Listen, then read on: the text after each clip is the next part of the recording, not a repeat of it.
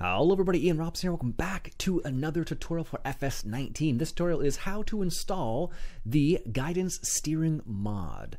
Alright, so first thing you need to do is go to GitHub page for guidance steering. I'll put a link in the description here. What you do is you hit the clone or download button with left click there, left click on download zip. There we go there. So I'll go into my downloads folder, which is right here. So I'm in downloads or wherever your download folder happens to be. So I'm going to go ahead and right click this, extract all. It's going to extract it into a folder. Hit yes or extract. There we go. Brings the folder up. Double click on guidance steering once again.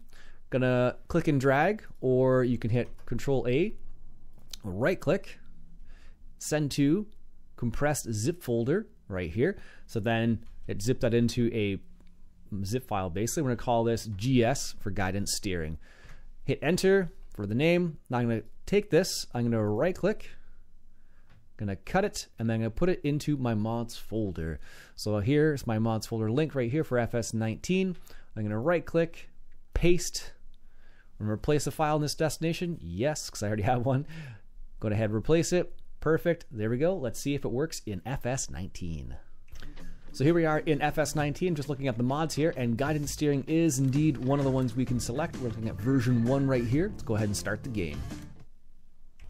So here we are in FS19. Let's go ahead and hop into this 8370RT. Right here, as you see in the controls menu right there, says left control S to bring up the guidance steering menu. So there you go. There is the guidance steering, aka GPS mod, ready to go. So there's two screens. You got this guidance screen, and then you have the guidance strategy right there. So that's how you install the guidance steering mod for FS19. If you like what you saw, I want to go ahead and hit that subscribe button for some more FS19 tutorials. I'll catch you guys later.